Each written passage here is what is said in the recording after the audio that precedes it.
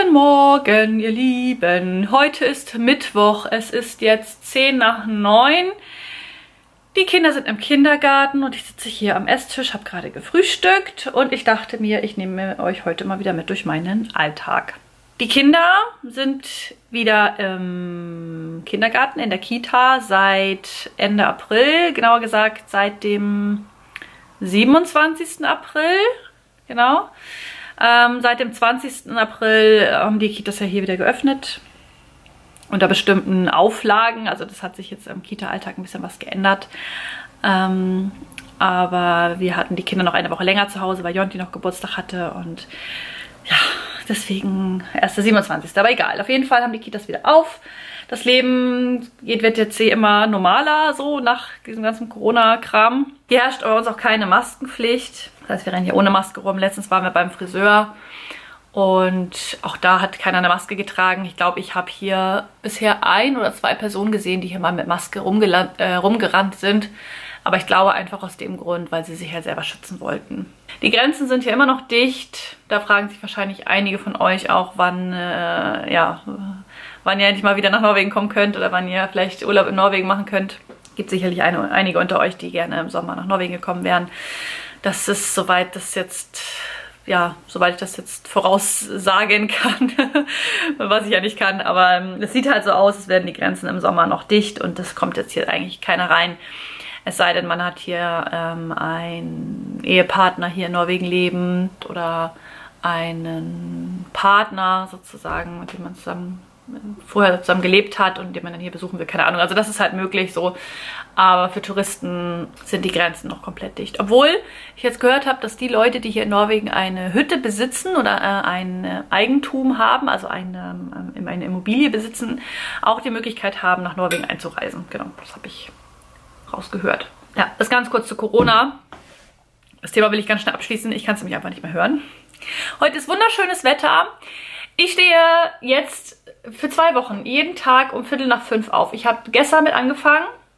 Heute ist Tag Nummer zwei. Nein, Quatsch. Montag habe ich damit angefangen. Heute ist Tag Nummer drei. 5.15 Uhr aufstehen. Ich könnte auch direkt um 5 aufstehen, aber 5.15 Uhr ist irgendwie eine schöne Zeit. Und dann stehe ich auf, mache Yoga, mache eine Meditation, setze mich hin und schreibe in mein Buch ein bisschen meine Gedanken, ein bisschen was geplant ist, To-Dos und so weiter und so fort. Dann ziehe ich mich in Ruhe an, dann höre ich vielleicht noch einen Podcast und dann wachen die Kinder irgendwann auf und ich bin dann schon fertig und richtig wach. Und das ist richtig, richtig toll und ich bin eigentlich jemand, ich hasse es, früh aufzustehen. Ich habe das früher mal schon gehasst im Frühdienst. Aber die liebe Annika von dem Kanal Pipa Pippo hat mich so ein bisschen dazu inspiriert. Und sie hat das tatsächlich auch übernommen oder sie wurde auch geinfluenced sozusagen von einer anderen Instagrammerin. Ich weiß jetzt gar nicht genau, wie die heißt. Doch, Lovely Nature, glaube ich. Und die steht nämlich auch mal so früh auf. Und ich lasse mich immer schnell inspirieren von solchen Sachen. Und ähm, ich hinterfrage natürlich auch, warum steht man so früh auf, bitte? Aber es macht für mich total viel Sinn. Und da ich mich ja schon länger mit Yoga und Meditation befasse und ich eigentlich am Tag meistens keine Zeit dafür finde, und morgens ist es eigentlich eher so, dass die Kinder aufwachen und dann äh, Geschrei und dann wacht man auf und äh, so irgendwie noch völlig nicht fit und nicht klar, irgendwie die Kinder zu handeln. so war das bei mir immer. Macht es für mich total Sinn, früh aufzustehen und einfach ganz entspannt in den Tag zu starten und einfach mal eine Stunde lang nur für sich zu haben. Und ich habe mir echt gedacht, das wird bestimmt schwierig, wenn ich den Wecker jetzt auf Viertel nach fünf stelle. Aber ich habe mich selber ein bisschen gewundert, oder ich, ich bin eigentlich immer noch verwundert, dass das so einfach ist. Der Wecker klingelt und ich stehe sofort auf. Weil ich einfach merke, ich stehe auf, nicht weil ich zur Arbeit muss. Das ist natürlich was ganz anderes, wenn der Wecker klingelt und ich weiß, ich muss zur Arbeit. Sondern ich stehe auf und ich weiß, ich mache jetzt was für mich. Und das ist meine Motivation und das tut mir sehr, sehr gut. Mal sehen. Ich habe jetzt gesagt, äh, das ist eine Testphase. 14 Tage will ich das jetzt durchziehen. Mal gucken, wie das so klappt und ob ich nach einer Woche immer noch so motiviert bin. bin. bin. Wir werden sehen. Auf jeden Fall habe ich gesagt, ich ziehe das jetzt zwei Wochen durch. So, heute ist Mittwoch. Ich habe heute noch Norwegischunterricht. Ich unterrichte eine Schülerin um 10 Uhr. Das heißt in einer Dreiviertelstunde. Also ich habe noch ein bisschen Zeit. Und danach, ja, muss ich noch ein bisschen was tun. Und ihr kommt einfach mit. Genau. so, bis später.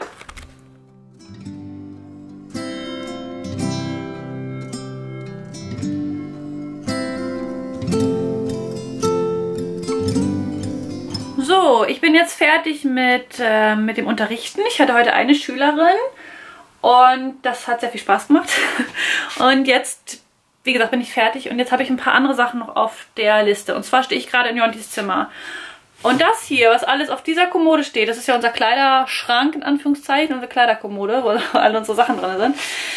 Und da stehen so viele Sachen drauf, die alle weg sollen, weg müssen. Also es gibt Sachen, die ich verkaufen möchte. Ich glaube, das sind die beiden. Äh, ja, und das sind so Sachen, die ich äh, weg, weghaben möchte, erledigen, erledigen möchte, erledigt haben möchte. So, ich muss es ja leider selber in die Hand nehmen.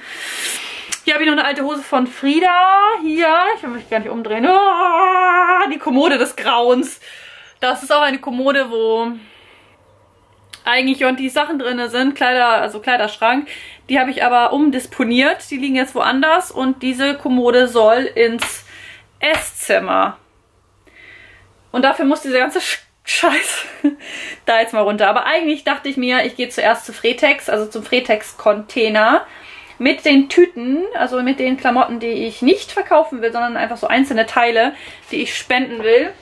Das ist auf jeden Fall das, was ich heute machen will. Oder wollte. Ich frage, ob ich es alles schaffe. Es ist eigentlich nicht so viel. Ich platziere euch mal ganz kurz hier. Was ist das denn? So, so. Ha! So geht es ganz gut. Also, das ist eine Tüte nur mit Klamotten. Wenn ich das hier mal runternehme, dann haben wir nämlich das Regal auch schon mal frei.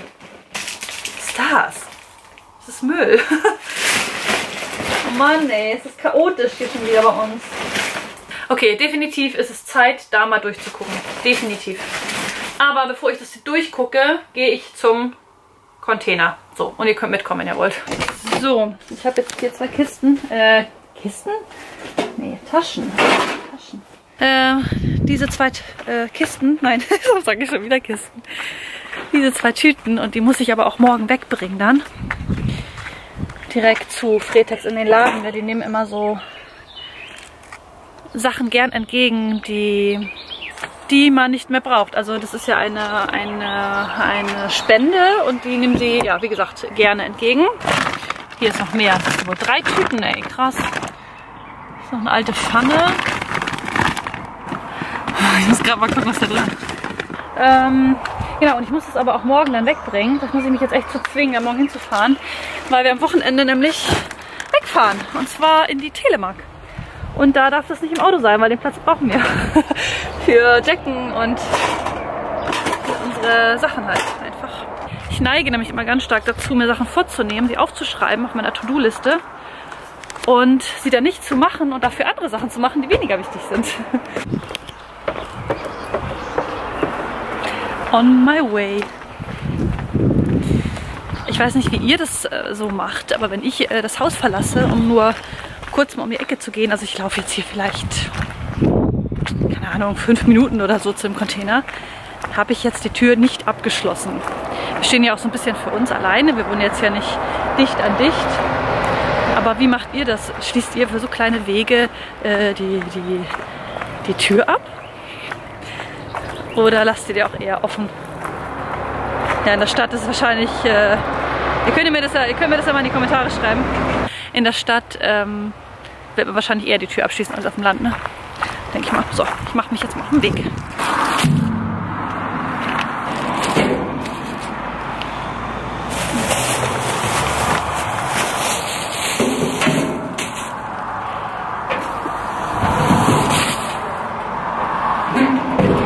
Voila. Und wieder zurück. Äh, ich weiß nicht, ob man es lesen kann. Ähm, ich finde dieses Werbeschild aber sehr, sehr schön. Hier werden Reihenhäuser gebaut. Ähm, und auf dem Schild steht, Hader de Ploss til mange. Mit einem Pärchen, ähm, was im Bett liegt. Ja. Ich habe das Gefühl, dass da mal so der norwegische Humor dann wieder durchkommt. also, ist lustig. So, jetzt geht's wieder nach Hause. Ich glaube, ich muss noch mal was zu essen machen. Ich habe irgendwie Hunger. Also, ja, jetzt steht die Kommode an. Ich habe. Ich habe sowas von keinen Bock. Ich sehe auch die Wäsche da noch. Die da muss aufgehangen werden und die da hinten muss abgenommen werden. Ich habe aber keine Lust und ich muss auch noch kochen und ich muss auch noch die Kinder abholen heute. Das heißt, ich... Ich wollte jetzt gerade sagen, ich ähm, lasse es mit der Wäsche, aber ich glaube, ich sollte jetzt einfach mal anfangen, dann schaffe ich es auch. Motivation. Wo bist du?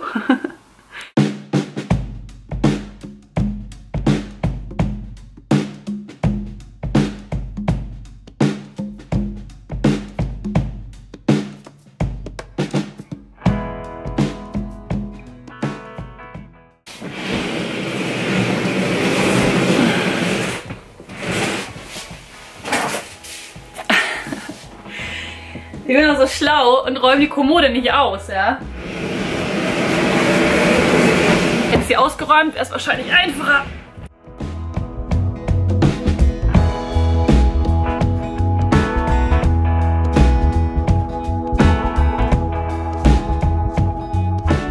So, das Regal habe ich hier abgeschraubt und da jetzt hingeschoben. Das werde ich wahrscheinlich reinstellen bei Finn zu verschenken. Und jetzt kommt oh, hier hin. Oh ja, sieht scheiße aus. Aber gut, ähm, Bücherregal war schöner, es ein bisschen schmaler war und so. Aber das Ding hier ist kaputt und wir haben einen ganz großen Teil der Bücher aussortiert, wenn wir einfach nie wieder reingucken. Wir wollen uns nicht so zumüllen, das nervt so ein bisschen. Und diese Kommode, Jonti hat ja nicht so viele Klamotten, die habe ich ja jetzt umdisponiert. Und hier habe ich jetzt Friedas Bastelsachen drin, weil sie immer bastelt. Ähm, und das ist eigentlich besser, das hier in so einer Kommode zu haben. Ach, so schlecht ist das nicht. Ich werde mich dran gewöhnen. Wir haben ja übrigens den Tisch hier umgestellt. Der stand ja, oh mein Gott, wie das da drauf aussieht. Aber das ist ja jetzt alles von dem Bücherregal, ne? Der stand ja normalerweise so ein bisschen anders. Der stand ja so. Und ich glaube, den Tisch kennt ihr auch noch gar nicht so wirklich. Wir hatten davor ja einen anderen. Aber ist auch schon ewig lange her, aber ich habe so lange keine Haustour mehr gemacht. Auf jeden Fall haben wir diesen Tisch einfach mal so rumgestellt und das ist einfach viel, viel schöner. Wir haben irgendwie gefühlt mehr Licht, wir können besser rausgucken. Man kommt da besser an den Tisch, also sich besser hinsetzen, weil vorher, als der Tisch so stand, war das halt immer so blöd mit den Stühlen dahinter und so. Also, ja, viel besser natürlich. Und ja, vielleicht sollen wir da noch, können wir da noch ein Bild hinhängen. Ja, das werden wir definitiv. Und da, oder ein Bücherregal darüber vielleicht. Ja, mal sehen. Auf jeden Fall bin ich extrem froh, stolz, dass ich das jetzt endlich mal gemacht habe und es geschafft habe. Ja, ich frage mich gerade, was ich jetzt mit den Büchern machen soll. Könnt ihr hier raufstellen erstmal. Kim kriegt bestimmt eine Krise, wenn er nach Hause kommt. Jonna hatte schon wieder Langeweile. So, wie ihr seht, bin ich fleißig. ich habe mich jetzt einfach mal ein bisschen äh, hingelegt. Ganz, ganz kurz nur. Einfach mal ganz kurz eine Pause zu machen. Weil ich hier die ganze Zeit rumbusel. Und Haushalt habe ich bisher noch gar nichts gemacht. Außer ein bisschen gesaugt hier und da. Wäsche muss ich eigentlich noch aufhängen. Tischmaschine muss ich ausräumen. Ich muss eigentlich dringend mal wieder unsere Bettwäsche waschen. Aber das verschiebe ich auf einen anderen Tag. Weil heute mein To-Do war, die Kommode umzuräumen, umzustellen. Und das habe ich auf jeden Fall geschafft. Und deswegen bin ich ganz froh, dass das gemacht ist. Und das wollte ich ja schon lange eigentlich gemacht haben. Und jetzt ist es erledigt. Halleluja. Ähm, jetzt, wo ich gerade hier Pause mache, dachte ich mir, ich kann ja noch mal ganz kurz was erzählen zu meinem beruflichen Vorhaben. Ihr wisst es ja schon. Ich habe das ja auch schon... Es gab ja letztes Jahr ein Video dazu, eine kleine Ankündigung, dass ich jetzt eine Website habe und dass ich äh, Norwegisch unterrichte und helfe beim Auswandern. Und das biete ich immer noch an. nicht, dass ihr jetzt denkt, oh, sie macht das nicht mehr. Doch. Ähm, aber ich bin jetzt gerade dabei, mh, mm, da ein bisschen voranzukommen, beziehungsweise mir ein anderes Konzept zu überlegen, wie ich das besser aufziehen kann und mehr Zeit dann auch habe. ich das so ausdrücken? Also es geht einfach darum, dass ich nicht gedacht hätte, dass ja, das so gut bei euch ankommt.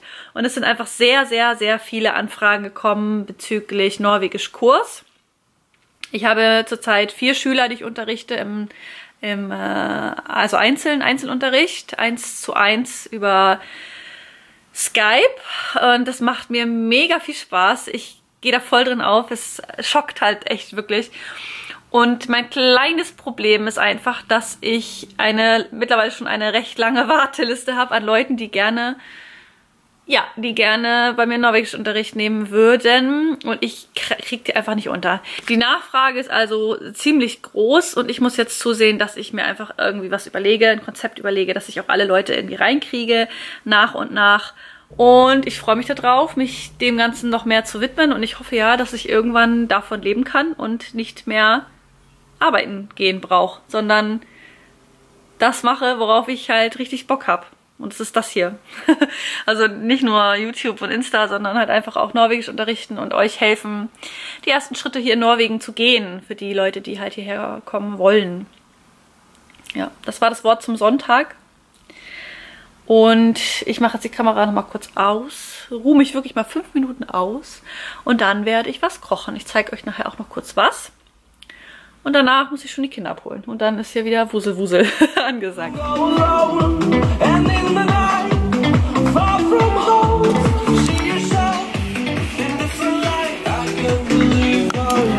Jetzt wird gekocht und getanzt.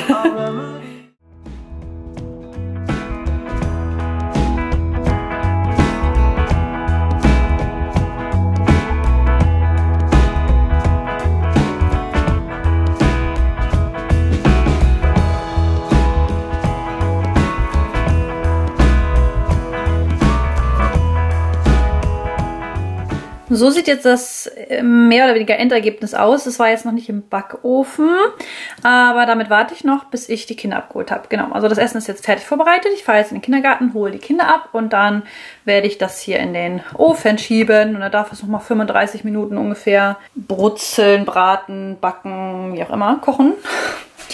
Und ähm, ich dachte mir, vielleicht seid ihr auch interessiert, interessiert an dem Rezept Deswegen habe ich hier die Karte noch liegen. Wir haben ja so schöne Essenskarten gemacht, wo wir jede Woche uns aussuchen, was wir essen wollen und danach dann noch einkaufen. Ich hatte das ja schon mal gemacht und dann hatte ich eine Zeit lang das wieder nicht gemacht. Und jetzt habe ich aber so ein bisschen so Rezeptkarten gemacht, dass ich auch aufgeschrieben habe, ähm, Nudelauflauf, was, was ich da benutze, äh, brauche und das dann auch dementsprechend dann einkaufe. Wenn wir jetzt sagen, wir wollen diese Woche Nudelauflauf essen, dann weiß ich genau, was ich dann auf die Einkaufsliste packen muss. Also, ich habe hier Nudeln, die kocht ihr vor. Ähm, ich habe eine Zwiebel damit drin, eigentlich TK-Spinat, den packe ich damit drauf und dann, ähm, ja, zerläuft es im Backofen. Jetzt hatte ich aber nur frischen Spinat, was ja eigentlich auch ganz cool ist. Ähm, Cherry-Tomaten, Paprika, ich ähm, esse ja vegan, deswegen habe ich hier Sojasahne oder Hafersahne. Dann ähm, Brühe, also die soll eigentlich im Prinzip eine Müslischale voll werden, und zwar mit Sahne und Brühe. Und Knoblauch gehört eigentlich auch noch mit rein. Und obendrauf kommen dann Cashews eingeweicht, 100 ähm, Gramm in Wasser eingeweicht. Dann mit Hefeflocken, Knoblauch und ein bisschen Kalanamak und halt würzen, wie man möchte. Ja, einfach Nudeln kochen, die kommen dann da rein, dann kommt das Gemüse oben drauf und dann kommt die Soße darüber und dann am Ende halt diese Cashew, dieser Cashew-Käse. Genau, das Rezept ist übrigens, das habe ich mir nicht selber ausgedacht, sondern es ist von der lieben Charlotte Weise, der ich folge. Die hat auch einen YouTube-Kanal und auch bei Instagram und die ist, die finde ich sehr, sehr inspirierend. Und das hatte sie mal in einer Story mh, hm, bei sich gepostet. Und das klang einfach so lecker, dass ich das einfach mal nachgekocht habe. Und es ist einfach wirklich mega lecker. Deswegen, liebe Charlotte, vielen Dank für diese Inspiration. ich bin fertig und jetzt werde ich mal die Kinder abholen, glaube ich. Den Haushalt mache ich dann nachher so ein bisschen mit den Kindern zusammen oder wenn die Kinder im Bett sind dass ich zumindest nochmal die Geschirrspülmaschine ausräume und die Wäsche noch aufhänge. ähm, Wäre ja ganz schön, wenn das noch irgendwie gemacht ist vor morgen. Genau, so ziehe ich mich mal an und dann geht's los. Wow, Wahnsinn. Äh, drinnen merkt man das gar nicht so, aber das sind über 20 Grad heute. Hey, Okay, hier im Auto merkt man, dass es 20 Grad sind. Das ist ziemlich stickig. Gut, ähm, ich habe gerade überlegt, noch weiter zu vloggen, aber ich glaube, das ist, wird schwierig, wenn die Kinder im Haus sind. Und ich widme mich auch immer gerne dann komplett den Kindern und meiner Familie, wenn alle im Haus sind. Deswegen wünsche ich euch jetzt noch einen schönen Tag. Ich kriege keine Luft, weil es hier drin so warm ist. Oh. Ich wünsche noch einen schönen Tag oder einen schönen Abend, je nachdem, wann ihr dieses Video guckt. Sage ich ja, glaube ich, immer, ne? Als Verabschiedung. Und ähm, dann sehen wir uns im nächsten Video. Also bis dann. Tschüss. Wackel, wackel. Tschüss.